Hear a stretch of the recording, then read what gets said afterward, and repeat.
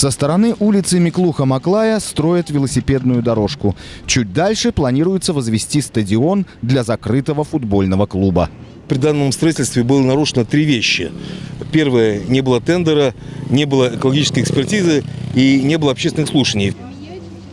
Под предлогом благоустройства фактически проводится самозахват территорий во имя отмывания столь милого сердцу чиновников бабла. Категорически недовольны здесь сложившейся ситуацией, вот этим вот строительством, незаконным, прошу заметить, потому что разрешения государственной экологической экспертизы нет никакой.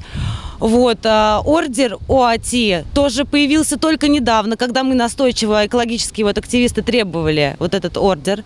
А, он недавно появился у них, но причем он не действителен, потому что он, а, во-первых, ну там есть много нарушений у них в этом ордере, то есть он не является действительным. Вот тут у нас дальше, вот как раз вот на таких песчаных дорогах живет краснокнижный жук-скакун, который представляет важнейший экологический ресурс.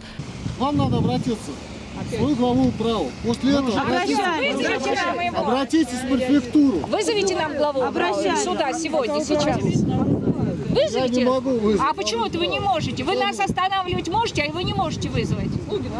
Вызовите, он для нас работает, поэтому пусть он, он, Мы ему деньги платим за счет наших налогов. Работает. Вызовите, один звонок он здесь.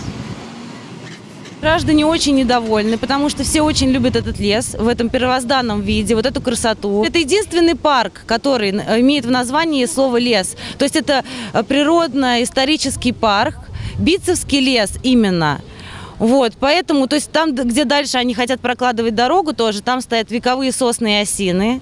А, корневая система будет повреждена, но они а, ничего вообще не знают. То есть вот эти вот строители и заказчики, они ничего не знают о экологии местной, совершенно. Они даже не узнавали, во-первых, то, что у них нет государственной экологической экспертизы.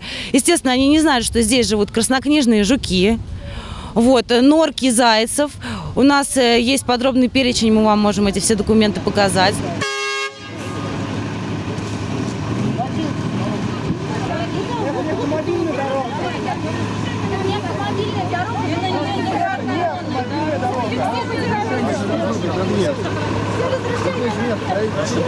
Давайте.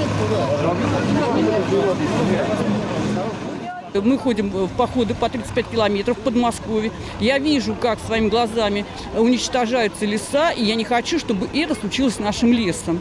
Я хочу, чтобы мой, мои внуки, например, ходили в лесу. Я считаю, что это полезнее все-таки пройти ребенку босиком по земле, чем каким-то там бетоном, вот этой смесь непонятной просто какой Вопрос, где согласование? Он что да, есть, покажите. Ну, сейчас мы, вот, сейчас мы готовы Опять А вы кто вообще такой? Ну, тогда нельзя работать, не, не, если нет согласования. Мы сейчас взяли все вот эти наши проекты вот, и отдали а, начальнику милиции вот этого парка. Вот сейчас находится у него все документы. И поэтому после этого что мешало префектуре провести открытые слушания, замер общественного мнения, голосование в том же интернете? Ответ один – любовь к откатам и распилам. Вот и получается, что чиновники, прикрываясь благими намерениями, преследуют сугубо корыстные интересы, а неблагодарный народ вечно против, мешаясь под ногами у строителей, полиции и самих чиновников, забывших о том, кому на самом деле они должны служить.